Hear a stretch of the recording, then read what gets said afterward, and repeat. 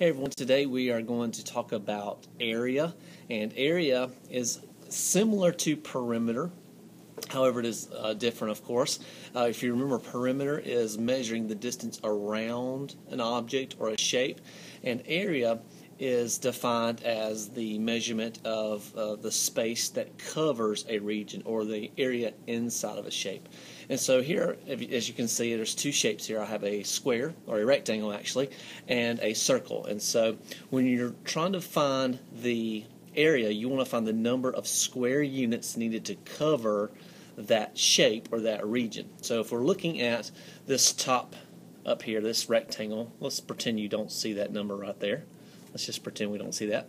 If we wanted to count or find the area of that shape, we would count the number of squares inside the black lines. So let's count. One, two, three, four, five, six, seven, eight, nine, ten, eleven, twelve. And so just as I X'd out earlier, that there are 12 square units, or we would call that 12 squares. Sometimes you'll see centimeters, you'll see feet, you'll see inches, but in this case we're just going to call it units, and that's going to be our units, because we've talked about how you'll have a unit that follows a number.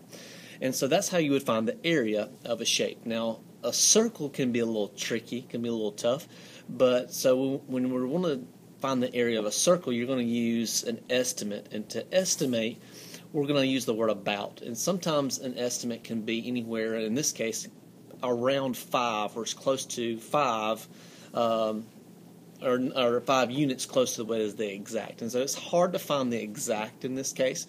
And so we're going to find an estimate. And the best way that I would do uh, to find the estimate or find how many square units are inside the circle is to first count the ones that are not being cut off by the black circle that you see right here.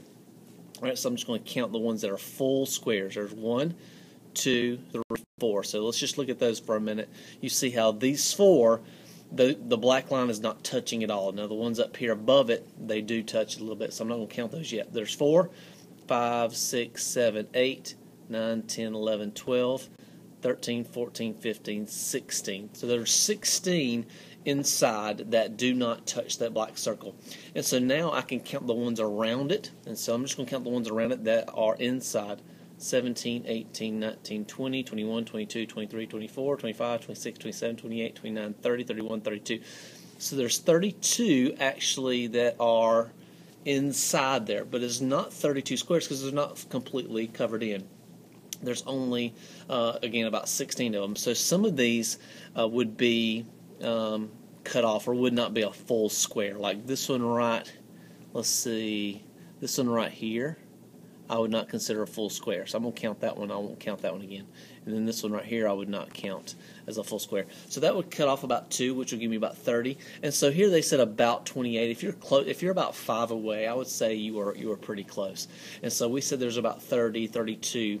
So this one says there's about 28. But again, the key idea is understanding the area is different than perimeter. Perimeter, remember, is the distance around a shape.